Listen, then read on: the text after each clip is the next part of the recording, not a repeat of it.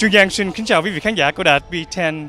Một luồng gió tranh đấu đã về đến thành phố Boston. Kính thưa quý vị, hôm nay đã có mặt anh Thea Việt Khang cũng như là nhạc ca sĩ Thế Sơn đã đến thành phố Boston trong chương trình hát cho tù nhân lương tâm và hội ngộ anh Thea Việt Khang tại thành phố Boston, Massachusetts. Và Trương Giang nhận thấy hôm nay có rất đông đồng hương, cả hội trường đều chật kín quý vị đã có mặt trong ngày hôm nay. Và Trương Giang có ghi nhận một số hình ảnh sau đây. Xin mời quý vị cùng theo dõi. Kính thưa quý vị, Khoảng 24 tiếng đồng hồ trước khi chương trình hát cho tù nhân lương tâm và đêm hội ngộ nhạc sĩ Việt Khang đã được lên kế hoạch sẽ tổ chức trong một công viên ngoài trời, nhưng dự báo thời tiết bất thường với cơ hội mưa lên đến 90% tại Boston, tiểu bang Massachusetts, đã làm cho ban tổ chức phải săn tay áo chạy đôn chạy đáo để chuẩn bị dời vào hội trường cho đêm văn nghệ tranh đấu được xảy ra một cách tốt đẹp ban tổ chức đã dùng mọi phương tiện có thể để chuẩn bị mọi thứ trong vòng vỏn vẹn dưới 24 tiếng đồng hồ để sắp xếp hội trường và thông báo đến đồng hương trong vùng trước giờ bắt đầu. Mặc dù thời tiết ngoài trời không cho phép, đêm văn nghệ vẫn được tổ chức thành công mỹ mãn với gần 1.000 đồng hương trong các tiểu bang tại vùng Đông Bắc Hoa Kỳ không ngại nắng mưa đến chặt kín hội trường, không đủ ghế để ngồi, nhưng mọi người đều cùng chung một lòng lên tiếng nói bằng những chàng vỗ tay liên tục để cổ vũ cho những bài nhạc tranh đấu mà ban tổ chức đã bỏ hết công sức để chuẩn bị cho chương trình từ các nhạc phẩm tranh đấu nổi tiếng của nhạc sĩ Trúc Hồ, nhạc sĩ Việt Khang và nhạc sĩ Phan Văn Hưng trong tác phẩm Chúng đi buôn.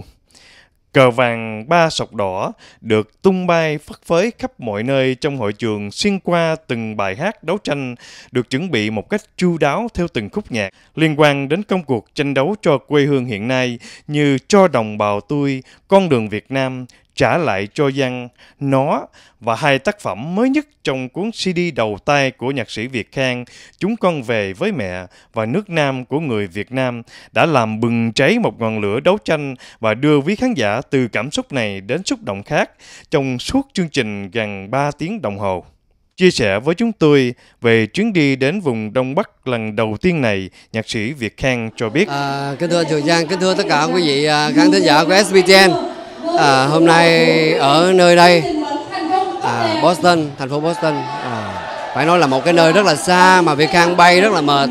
Phải nói là Hoa Kỳ cái đất nước này rất là rộng lớn. Nhưng mà Việt Khang đi vòng vòng cái đường mà từ từ nhà cho tới cái nơi mà biểu diễn. Sau sau quá quá rộng lớn mà người Việt Nam mình nhìn thì không thấy. Vào trong đây mới hết hồn là người Việt.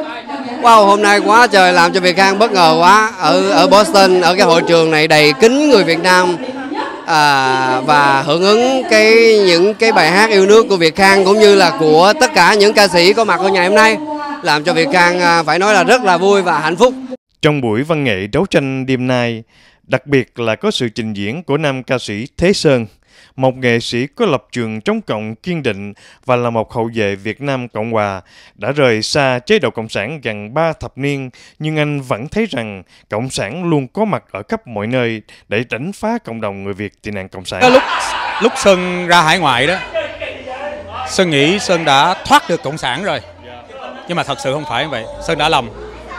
Ở bên hải ngoại vẫn còn, họ vẫn có những cái loài bạch tuộc, có những cái người nằm vùng của họ để họ lôi kéo, vận động và họ gây xáo trộn với cộng đồng tị nạn cộng sản tại hải ngoại. Cho nên đó là một cái điều sơn rất là khó chịu cũng như là rất là rất là đau lòng. Sơn muốn muốn cái cộng đồng tị nạn cộng sản chúng ta vững mạnh. Sơn không dám nghĩ tới cái gì cao xa là ở bên việt nam, tại vì thật sự cái cá nhân mình ở bên này xa xôi, mình không có không có làm được gì nhiều, nhưng mà mình muốn muốn lên cái tiếng nói nói lên tiếng nói một phần để cho những người trong dân trong nước. Nhưng mà cái chính vẫn là mình muốn bảo vệ cái cộng đồng hải ngoại. Sẽ không bị nhầm bỏ bởi cộng sản?